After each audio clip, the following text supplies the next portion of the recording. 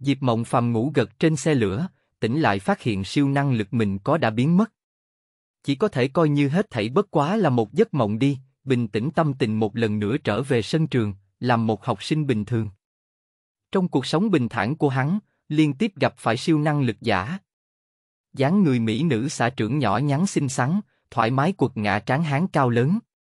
Họa sĩ bình thường không có gì lạ, lại có thể vẽ cái gì tới cái đó.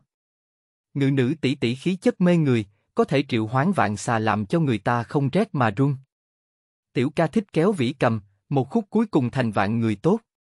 Những siêu năng giả này lại đều là tới tìm kiếm hắn, để cho cuộc sống bình tĩnh của hắn lần nữa nổi lên gần sóng. Nhất định không thể bình thường, vậy để cho cả thế giới khắc ghi. Vô địch không vô địch, sản văn khó chịu văn, hệ thống không hệ thống, thánh mẫu không thánh mẫu, sáo lộ không sáo lộ, hậu cung không hậu cung, vô não không phải không có não, nhìn liền biết.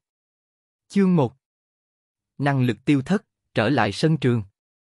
Bạn đang nghe tại truyện chấm audio. Đã có lỗi xảy ra trong quá trình lấy test.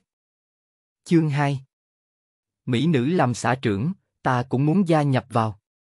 Bạn đang nghe tại truyện chấm audio. Đã có lỗi xảy ra trong quá trình lấy test.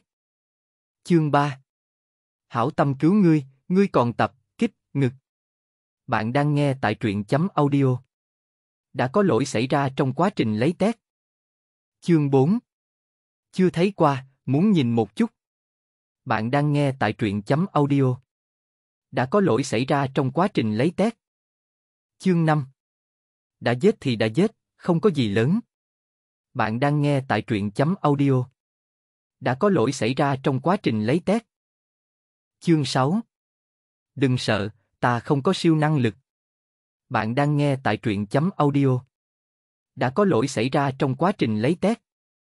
Chương 7 Dài khó coi như vậy, ta mới không cần.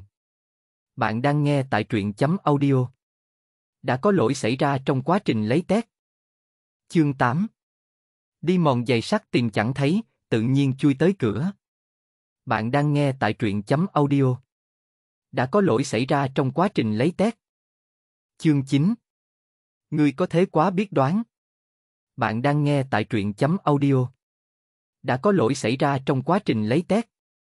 Chương 10 Không nghĩ tới hắn đích thân đến. Bạn đang nghe tại truyện chấm audio. Đã có lỗi xảy ra trong quá trình lấy test.